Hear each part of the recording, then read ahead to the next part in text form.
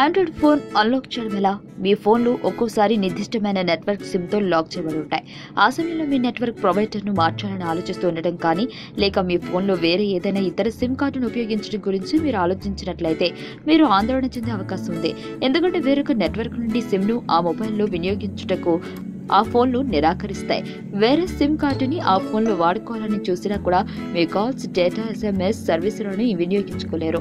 మీరు మీ ఫోన్కు సంబంధించిన పేమెంట్ లావాదేవీలన్నింటినీ పూర్తి చేసి ఉన్నట్లయితే మీ ఫోన్ను అన్లాక్ చేయడానికి పూర్తిగా చట్టబద్ధమైనది.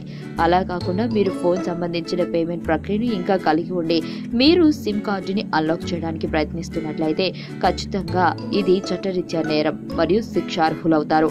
కావున మేము చూపబోయే ఈ ప్రక్రియలు చేయటకు ముందు మీ నెట్వర్క్ కార్యర్ యొక్క నియమ నిబంధనలను పూర్తిగా తెలుసుకోవాల్సినదిగా సూచిస్తున్నాము. మీ ఫోన్ను అన్లాక్ చేయడం ఎలా? మీకు తెలిసిన తర్వాత ఫోన్ అన్లాక్ చేయడం ఆశ్చర్యకరంగా సులభం. మొదట మీరు మీ సర్వీస్ ప్రొవైడర్ని సంప్రదించి అన్లాక్ను అభ్యర్థించాలి. మీరు తర్వాత ఉపయోగించే సిమ్ కూడా అదే నెట్వర్క్ సంబంధించింది అయి ఉండాలి. వేరే నెట్వర్క్ సంబంధించి కాకూడదు. అలా కాని పక్షంలో మీ అభ్యర్థన తిరస్కరింపబడుతుంది.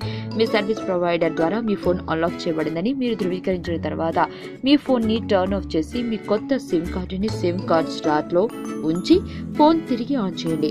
ఇప్పుడు అన్లాక్ విజయం సాధించారా లేదా అని తెలుసుకోవడానికి కాల్ చేయడము ఎస్ఎంఎస్ పంపడము డేటా వినియోగించడము చేసి తెలుసుకోండి. అన్లాక్ విజయవంతం కాని పక్షంలో మరలా సర్వీస్ ప్రొవైడర్ని సంప్రదించండి. ఈ ఫోన్ అన్లాక్ చేయడానికి ఒక్కొక్క సర్వీస్ ప్రొవైడర్ ఒక్కొక్క నిబంధనల్ని సూచిస్తుంది.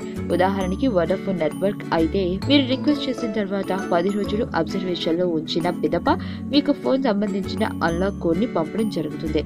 ఈ పది రోజులు మీరు మీ పాత సిమ్ని ఉపయోగించి ఆ లావాదేవీలను పూర్తి చేయాల్సి ఉంటుంది. వడాఫోన్ ఇంటర్నేషనల్ సంస్థ కాబట్టి అన్నింటా ఇంచుమించు ఇలాంటి నిబంధనలే ఉండొచ్చు. ఈ వీడియో మీకు నచ్చినట్లయితే లైక్ చేయండి షేర్ చేయండి. మరిన్ని అప్డేట్స్ కోసం మా ఛానల్ని సబ్స్క్రైబ్ చేయండి.